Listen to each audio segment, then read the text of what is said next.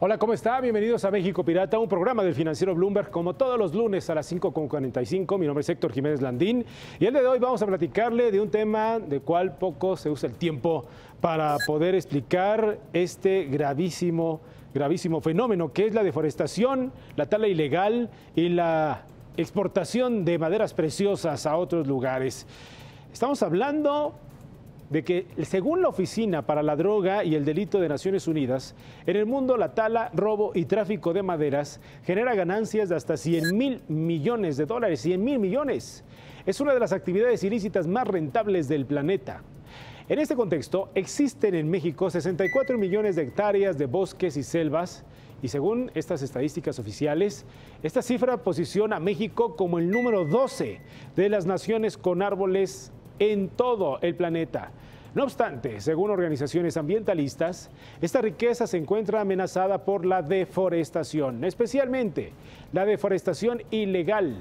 Se estima que en México se deforestan, se cortan, se cercenan 155 mil hectáreas de bosques y selvas cada año y al menos 60 mil de estas hectáreas provienen del mercado negro cantidad que nos posiciona entre los países con más deforestación en todo el continente. De hecho, México ocupa el lugar número 8 y el número podría crecer si las autoridades insisten en negar esta realidad, en negar la gravedad del tema. ¿Qué quiere decir esto? que los grupos de talamontes no registrados ni controlados por la Procuraduría Federal de Protección al Ambiente están deforestando 66 veces el área que ocupa, por ejemplo, el bosque de la Jusco en la Ciudad de México. 66 veces. O escucha esto, lo que es igual a dos terceras partes de la selva lacandona en Chiapas. Ahora bien, no toda la deforestación persigue los mismos fines. Una parte se concentra en abastecer el consumo local. Se basa pues en la explotación de coníferas que luego son usadas en la industria de la construcción o la fabricación de muebles. Otra parte, y realizada especialmente por las redes de tala ilegal, se enfocan en las maderas tropicales, que son consideradas finas, muy finas en el mercado. Su constitución es de dureza y cotizada en el mercado. Esta última, la más cotizada, se usa para las artes y artesanías, la construcción de instrumentos musicales, la industria médica, la industria automotriz, la marítima, los acabados de construcción, la ornamentación de casas de lujo, por ejemplo. Las fuertes presiones de las corporaciones criminales de tala de madera incluso gestionan en algunas ocasiones la transformación del uso de suelo como ocurrió recientemente en Cancún. La pregunta ahora es, sobre qué cimientos se basan en este tipo de organizaciones, cómo es que opera el crimen organizado en este sentido. Este es un trabajo que ha hecho el equipo de investigadores del financiero Bloomberg para usted. En el 2014, Alfredo Castillo Cervantes, entonces comisionado para el desarrollo integral de Michoacán, denunció que el cartel de los Caballeros Templarios había comenzado un nuevo negocio, la tala y tráfico ilegal de maderas.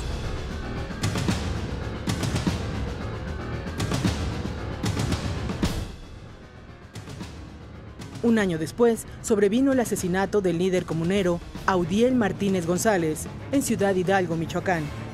Este hecho reveló que en esa entidad existían al menos 87 conflictos rurales por disputas territoriales, posesión de bosques o uso de recursos hídricos, varios de ellos iniciados por la mano del crimen organizado.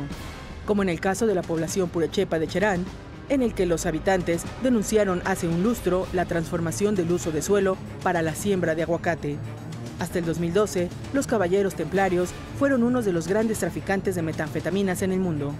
Pero el grupo creció tanto y diversificó sus actividades criminales que en los últimos años las drogas dejaron de ser su principal fuente de ingresos. Una investigación de la organización Nación Purepecha reveló que por evitar la tala ilegal e inmoderada de los territorios comunales, en menos de un lustro fueron asesinados 286 líderes comunales a manos de cárteles y organizaciones criminales de Talamontes.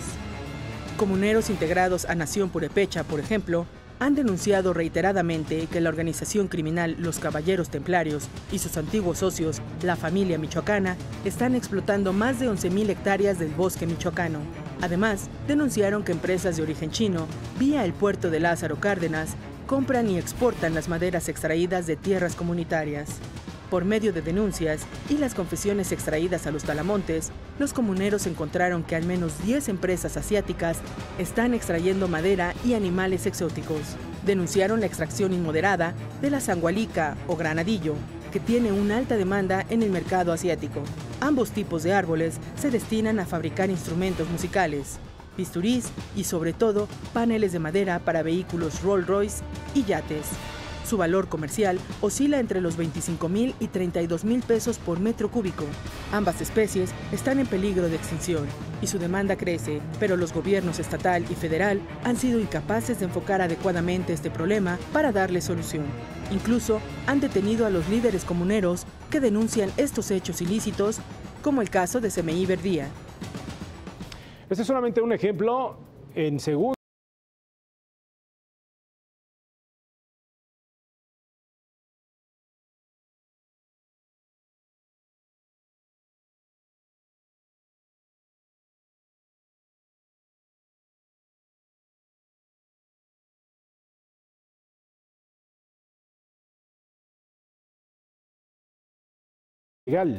No obstante, la autoridad responsable, la Profepa, la Procuraduría Federal de Protección al Ambiente, prácticamente carece de cifras oficiales que nos puedan dimensionar la verdadera naturaleza del problema. Ahora bien, según un informe del Consejo Civil Mexicano para la Silvicultura Sostenible, en nuestro país la deforestación ilegal está cobrando 4 mil millones de pesos anuales lo que implicaría más de 3 millones de metros cúbicos de madera que benefician directamente al mercado ilegal. Las especies más preciadas por estos grupos delictivos, según la solicitud que se hizo en su momento a la información publicada emitida por la Profepa, se encuentra en primer lugar el cedro, en segundo lugar el encino, en tercero el sauce, en cuarto lugar está el sauce llorón, estas especies de árboles en muchas ocasiones se cotizan en dólares, como el cedro, cuyo precio oscila entre los 350 y 600 dólares por metro cúbico. Y en el mercado negro, los precios pueden oscilar entre los 200 y 300 dólares por metro cúbico.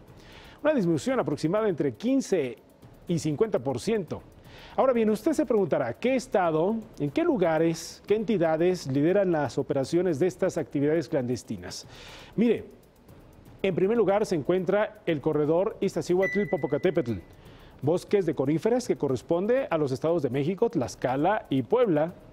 En segundo lugar, el Parque Lagunas de Zempoala, instalado en el estado de Morelos. Y en tercer lugar, el corredor biológico Chichinautzin, situado en la zona noroeste del estado de Morelos. Todas estas zonas están cercanas a la Ciudad de México, una área considerada segura respecto al crimen organizado.